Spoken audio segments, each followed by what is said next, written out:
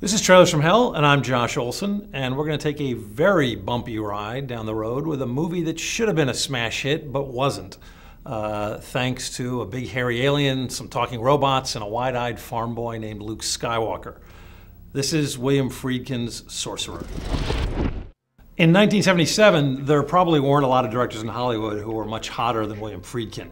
Uh, as they tell you right here, uh, he made The French Connection, followed by The Exorcist, both of which had been phenomenal hits.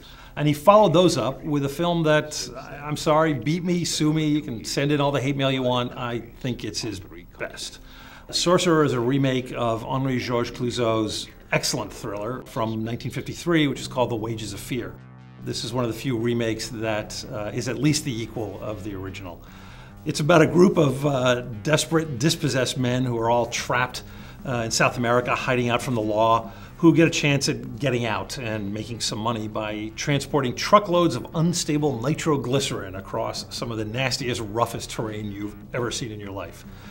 It's got a wonderful tone to it and uh, a real sense of dread and desperation. Friedkin originally offered the lead to Steve McQueen, who loved the script but turned it down because uh, he didn't want to leave uh, Ali MacGraw behind in the States. He asked Friedkin if maybe she could become a producer on the film. Friedkin said no, and McQueen passed. Friedkin since said that uh, he's regretted that. And I gotta say, I, I, love Steve McQueen to death, and he would have been absolutely great in the film, and it certainly would have helped the box office. But Roy Scheider is, is stellar in this film. He was uh, pretty hot off the uh, success of Jaws, and he's, you know, his tough, kind of no nonsense, rugged, earthy quality just really works for his character.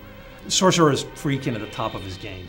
It's tight, it's suspenseful, every scene just grabs you by the collar, and it's beautifully shot. Um, you can feel the humidity down there in South America. You can, you can feel the sweat on the sticks of dynamite.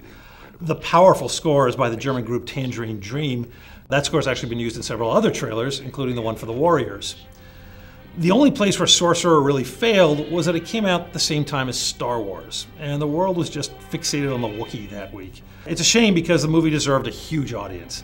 I like to think that somewhere there's an alternate universe where Sorcerer was a massive game-changing hit in Hollywood, and I'm doing a Trailers from Hell commentary on the relatively unknown cult classic Star Wars. In that world, Hollywood spent the next 30 years making smart, edgy movies for grown-ups. The literacy rate is 100%, we haven't been in a war since Vietnam, and world hunger is just a memory.